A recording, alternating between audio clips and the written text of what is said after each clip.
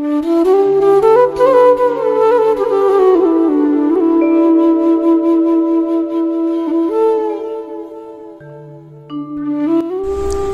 வாணி? பொங்கல் அதுமா அம்மா காலையிலே கடைக்கு அனுப்பிட்டாங்க. மதியம் சமைக்க காய்கறி வேண்டாமடா.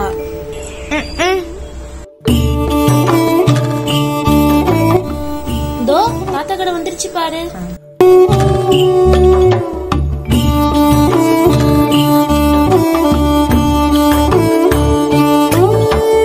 வாங்க பசங்களா என்ன வேணும்?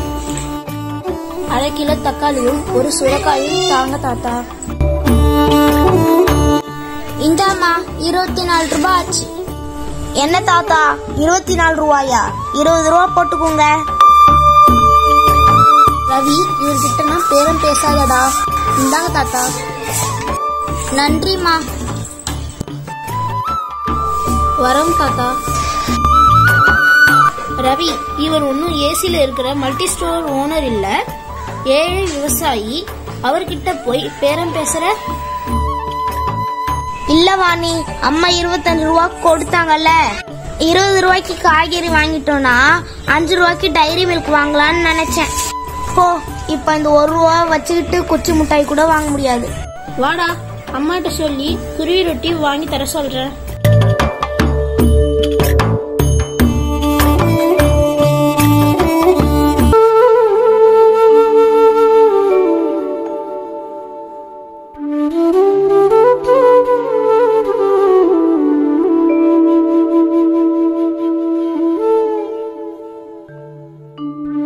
இந்தாம்மா காய்கறி.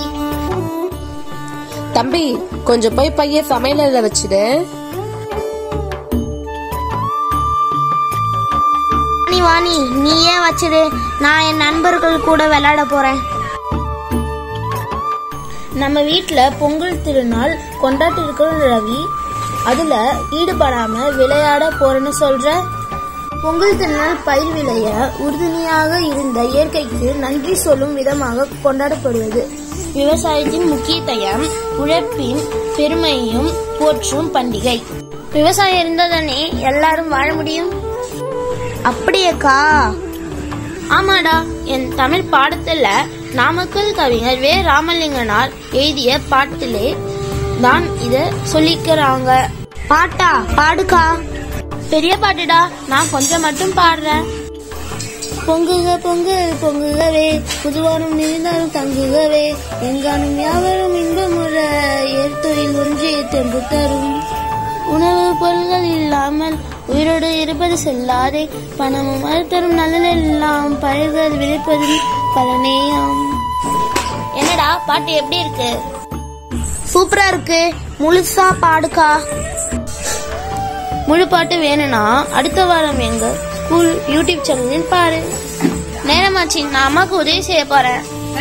சரிக்கா நானும் பையன் சமையல் அறையில வச்சுட்டு பாட்டிக்கு உதவி செய்ய போறேன்.